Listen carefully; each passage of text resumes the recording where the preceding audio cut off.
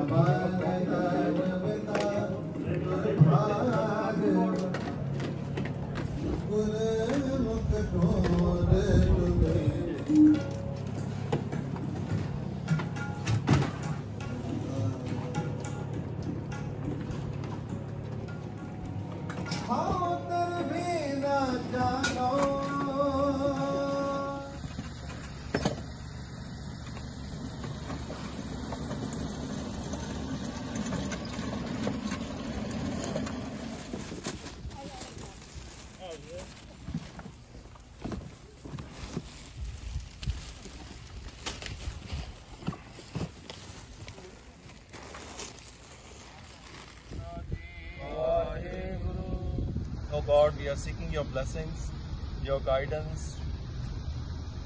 Please shower mercy upon us so we can continue to serve those who are in need, those who are hurting, those who are struggling in this very, very difficult time due to Corona or for economic difficulties, and many have lost their jobs. You have graced us, you have given us the strength to serve them. Volunteers who have come to pack food and to pack all the fresh produce for the families are going to be coming here to seeking assistance. May we continue to serve those who are really, really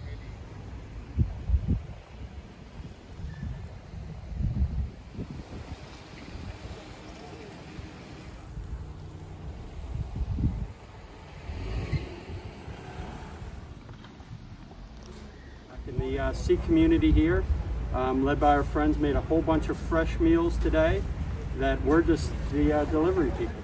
The pandemic affects other people in different ways. A lot of different people have different effects. There's um, effects on people's jobs. There's people that aren't impacted at all with their work. People that can work remotely, like myself. Um, but yeah, this is this is hard time for a lot of people. And you can see the work, and you can see how busy it is here.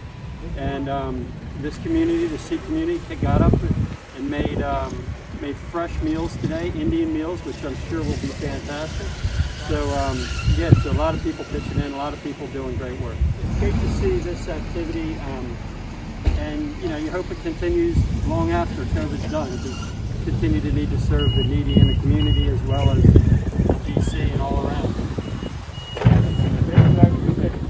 And uh, how many meals did you work? Bye bye.